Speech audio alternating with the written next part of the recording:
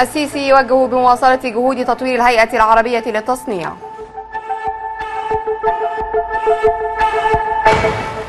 شكري. يشارك اليوم في اجتماع حول ليبيا بالسودان.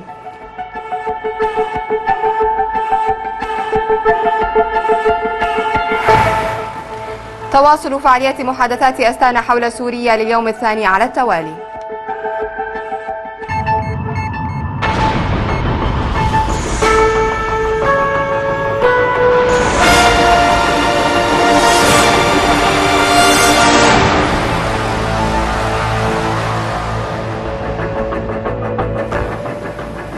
منتصف ليل القاهرة العاشرة بتوقيت جريش موجز إخباري يأتيكم من القاهرة. أهلا بكم.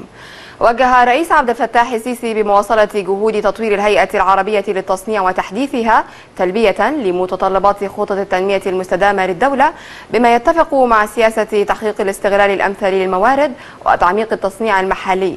جاء ذلك خلال اجتماع عقده الرئيس السيسي مع الفريق عبد المنعم ألتراس رئيس الهيئة العربية للتصنيع. بحثا خلاله نشاط وخطط ومشروعات الهيئة في مختلف المجالات المدنية والعسكرية. فضلا عن أطر التعاون القائمة في هذا الصدد مع عدد من الدول العربية والأجنبية. وقال المتحدث باسم رئاسة الجمهورية السفير بسام راضي إن الفريق ألتراس عرض خلال الاجتماع آخر أنشطة ومشروعات الهيئة البحثية والتصنيعية الجاري تنفيذها. وكذلك الشراكة القائمة للهيئة مع الجهات المماثلة في عدد من الدول العربية والأجنبية.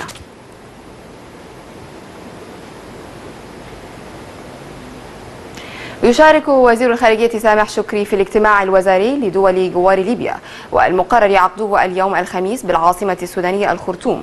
ووصل شكري إلى مطار الخرطوم حيث استقبله نظيره السوداني الدرديري محمد أحمد.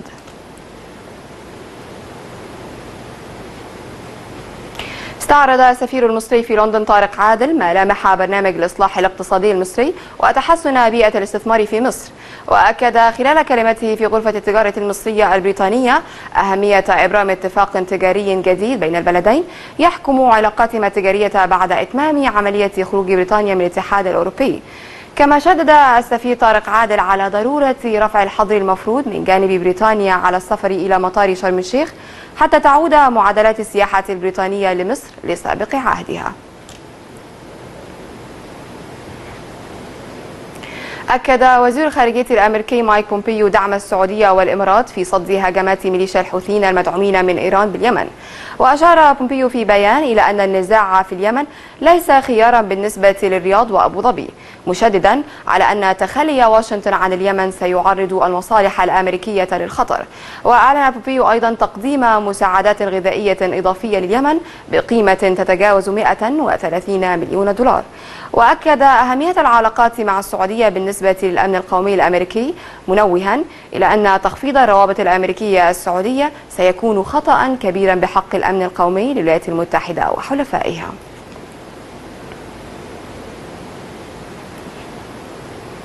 تتواصل لليوم الثاني على التوالي فعاليات الجولة الحادية عشرة لمحادثات أستانا حول الأزمة السورية حيث أعلن رئيس الوفد الروسي في المحادثات أن اجتماعات اليوم الأول ناقشت ملف منطقة خفض التصعيد في سوريا مضيفا أن موسكو ستواصل محاربة الإرهابيين حتى القضاء عليهم.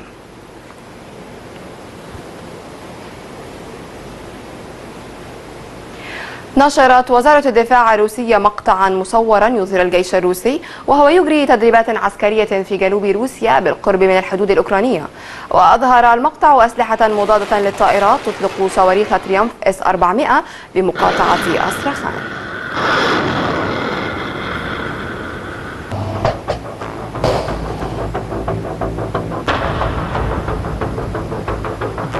لمزيد من الأخبار تابعوا موقعنا الإخباري xnews.tv إلى اللقاء.